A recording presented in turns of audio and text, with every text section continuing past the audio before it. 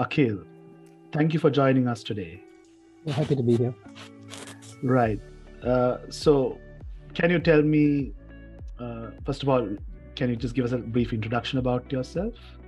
Okay. Uh, I'm Akqeel. So, I joined the Java Institute back in 2012 uh, while I was doing my A levels. Then I started off with the DSAD batch, and then I did the Oracle OCP in 2013, uh, right before my A levels. And then I completed my A levels, and then I went on to do uh, OCE WCD uh, in 2014. And then I continued with the degree at Java Institute. And in 2015, I saw a job opening at PickMe, uh, Sri Lanka, uh, and I applied for it. And I got an opportunity to go for the interview. I did the interview, and I got the post as a trainee Android engineer. Uh, so I worked as a trainee for about six months at PickMe uh, while I was studying at Java Institute. Um, so I was working on. So at that stage, when I joined PickMe, they did not have a product in production. They were still a very early stage startup, and we were working on the passenger and driver apps. The driver app was in progress. The passenger was uh, not started. So my responsibility was to build the passenger app and deploy to production within a few months because PickMe also wanted to go to market very quickly. Um, yeah, so I was working with another Android engineer on the team, and they also had QA, iOS engineers, and so on.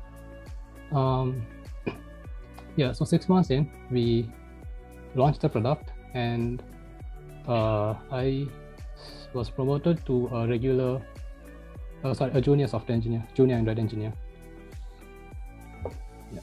So I spent about four years at PickMe.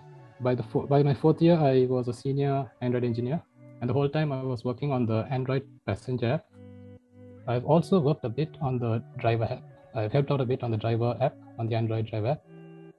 And I also got an opportunity to work on some side projects within the company. For example, one of my projects was doing a load test for a database and server migration. Uh, I found that project very exciting because it was a simulation.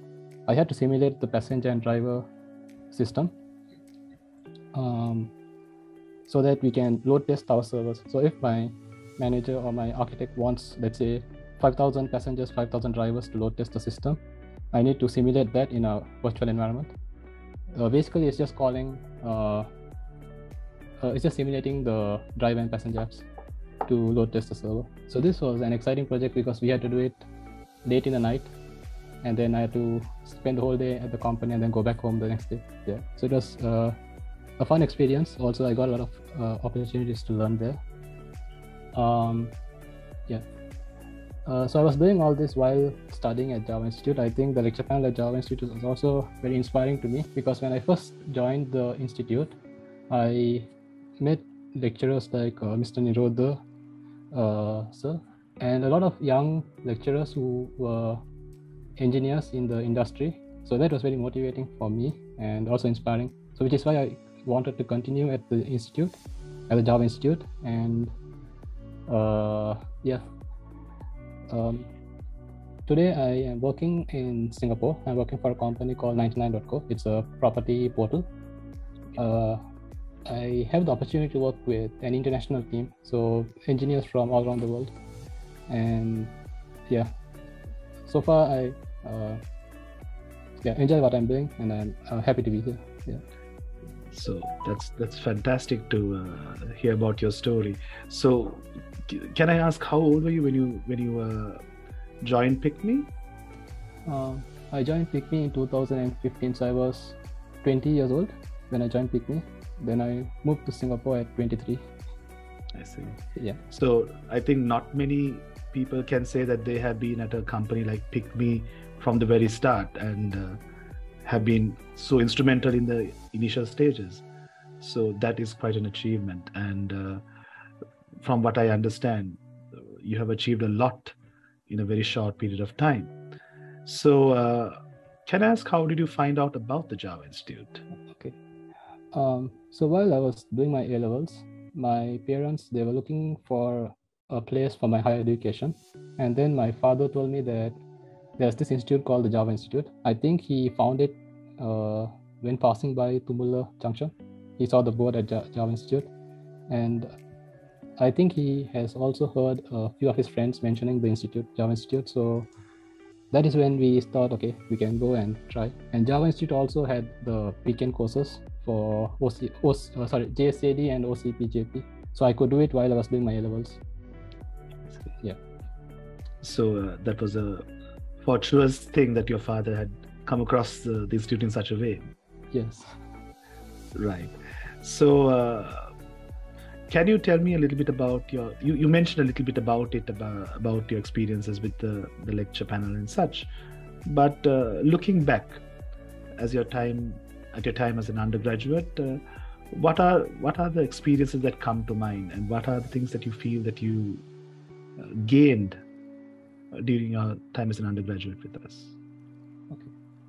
Um, I really in, like the way the course is structured. The okay, so there's two things which I learned. One is the practical side of engineering. The other is the theoretical. So when it comes to the theoretical side of uh, programming, and let's say, for example, OCP JP, the I found the course content well structured and easy for me to grasp the knowledge because uh, the course is also structured in a way that it takes the students uh, step by step. Um, and on the practical side, example, let's say JSAD, uh, where we need to build a, a, real world application. And if we can, we need to try to put, place it in production, uh, find a client and see if they are interested in the product. So I think this is a good opportunity to learn about the real world aspects of software engineering. Um, for the web uh, course, I spent about six months to one year building an e-commerce application, and I learned a lot, uh, a lot about uh, web programming, uh, backend programming, and so on. Um, so by the time I graduated, I had already built applications or real-world applications, so it was much easier for me to go into a job and start working? Akqeel, I learned something interesting that you uh, completed your OCPJP uh, qualification when you were just 18 years old. Now, uh, as I understand, OCPJP is a, a, professional qualification that much more senior uh, software professionals take at a later st- stage of their. Okay, I'll go back to that. So, so as i understand this is a qualification that uh, most software professionals will take later on in life but this is something that you achieved at a very young age so can you tell us a little bit more about that okay i think uh, when i joined the institute something which inspired me was as i said the lecturers when i saw that the lecturers were qualified with these qualifications i also wanted to take them then the second point is i found the course content and the course structure easy to follow and uh, also I was able to grasp the uh, the concepts uh, easily because the course itself was structured well for students. Um, since I had already started the course, I wanted to continue and uh, complete the exam in or during that session, uh, which is why I spent a lot of time. I, I got the OCPJP, the official book, and i also went through the book and i studied i took some time off just to study the book and in addition to the course content at java institute uh, when i was confident enough to take the exam i also did a few mock exams which was uh, provided in the book i think uh, once i felt confident enough i thought okay why not just uh, take the exam and try. And my parents were also very supportive. They were able to pay for my course fee and so on so yeah. So it's a credit to you uh, and your uh, abilities as well. It's just uh, that's good to hear. So Akqeel uh, now looking back at your career so far you've come quite a way so uh, what are your thoughts on your achievements so far um, in my career so the reason I took on software engineering was because I wanted to build something that or build uh, systems that are useful for our communities. And then when I got the opportunity as PickMe, I felt that I was very fortunate and I was grateful that the company was also aligned with my interest and I wanted to help the company to build these products so that they can uh, so the aim of the company is to revolutionize the transport industry in Sri Lanka and I was very passionate and I was excited to be a part of that journey and to uh, contribute to these systems. Uh, for new graduates, what I would uh, uh say is um, to build or um, to try to work on products that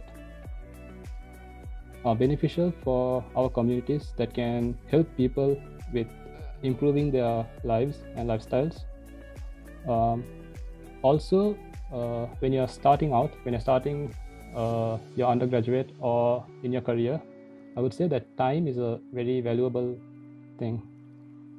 For me, it for me time was one of the most important things.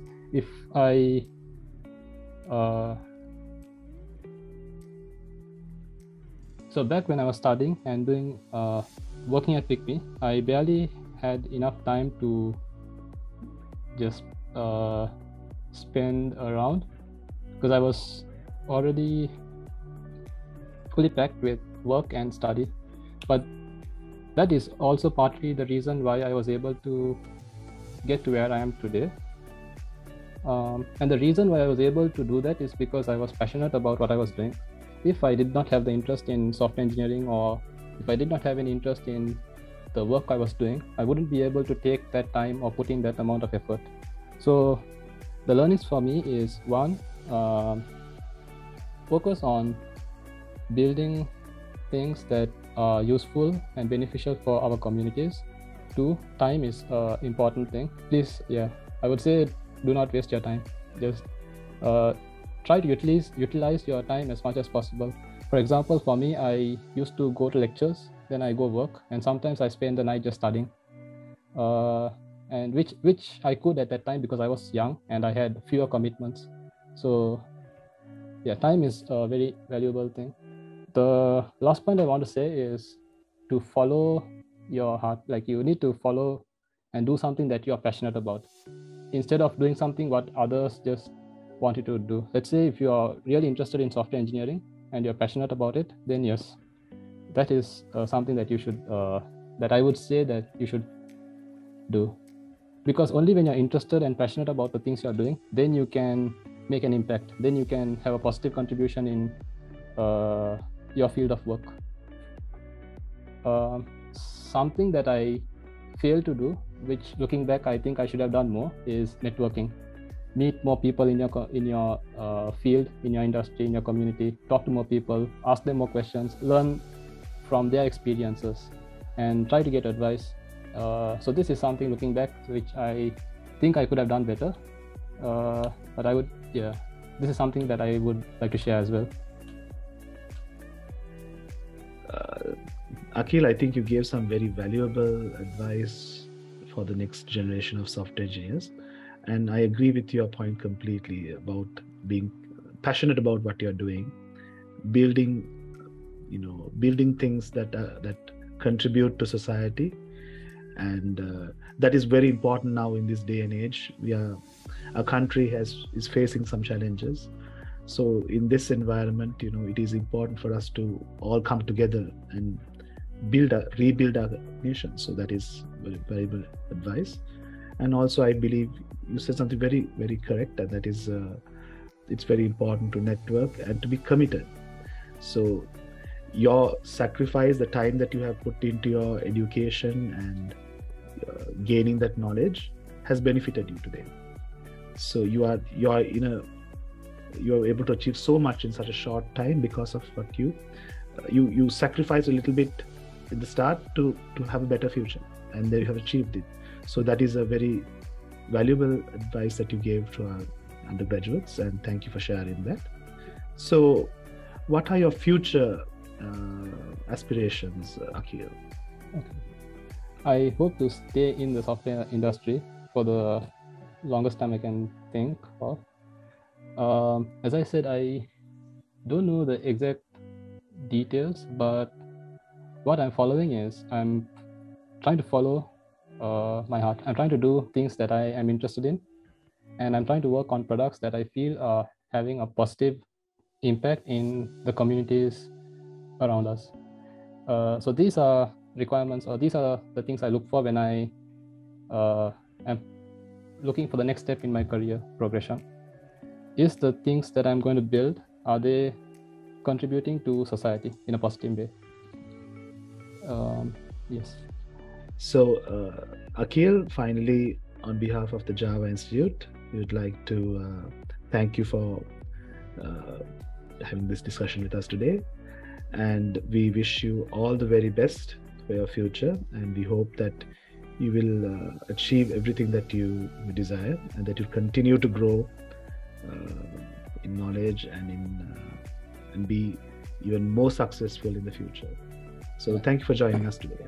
Yeah, thank you, Mr. Mevan and Mr. Narmada, for having me, and also thank you for Java Institute for giving me the opportunities and for yeah helping me to get to where I am today. Yeah. So we are we are very happy with what you have, what we are very very happy with what you have achieved so far. So uh, all the best to you. Okay. Thank you.